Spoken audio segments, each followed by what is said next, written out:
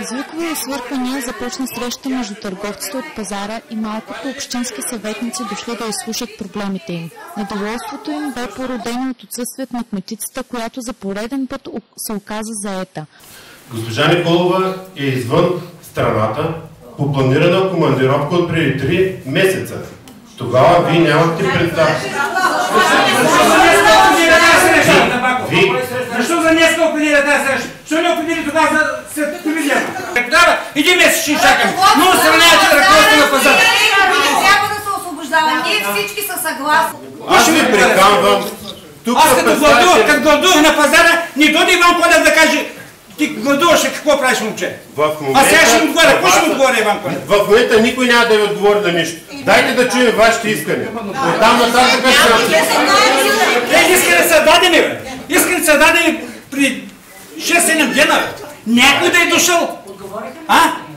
Някой да е дошъл да каже... За това е тази среща. За това е тази среща. Аз ви приканвам да седнете и да коментираме и да говорим.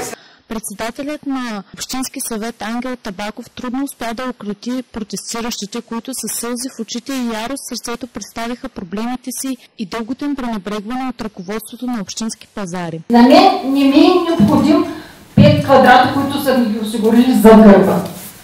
Нищо не ползвам от това.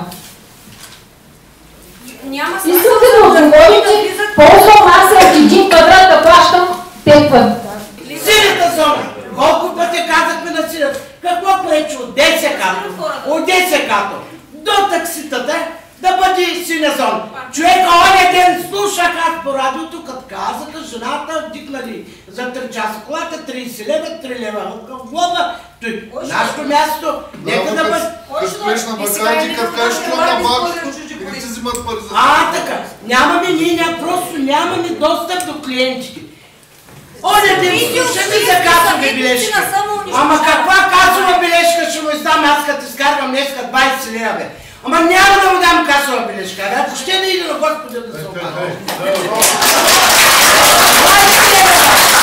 Подобрението от вас го чакаме. Ама не може в Шумен една маса да е 70 лева, а в Добрич е 164 лева. Това е невъзможно. това е в също. Само Добрич ние сме най-богатите. Тук с най-много пари. Без да ми се каже нещо, един ден ми начертаха масата, пита какво става. Без да ме запознае, ме бутнаха на трета глуха линия, всяка където съм в момента. И цяла зима лове мухи. Както знаете, през зимата няма мухи, има снежинки. Баща съм на 5 члено семейство изхранвам. С две банки съм обременен. Изтеглих още два джета, за да си балансирам банките да не пресрочвам. Кажете ми аз какво да правя. Аз също плащам малка маса, плащам малка маса. 70 лева. Ето, сега сме март. Сега сме март. Значи декември, януари, февруари, март, аз не мога да отида на пазара, аз съм производител. Колегата ги казва. Ние сме зароили вътре в пръста.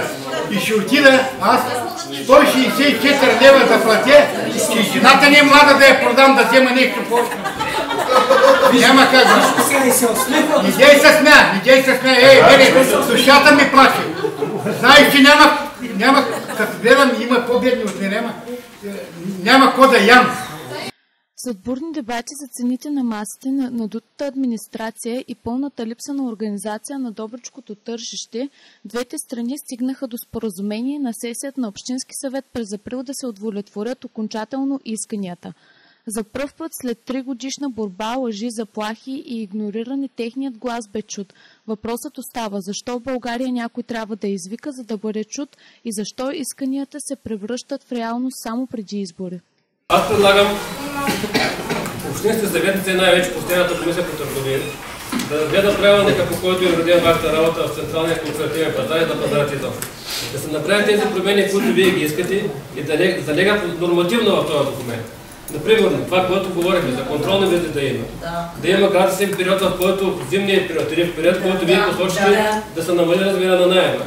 Също така, по отношение на охраната, как да се осъществява охраната на, този- на тези обекти? Дали с камера, дали с жива охрана?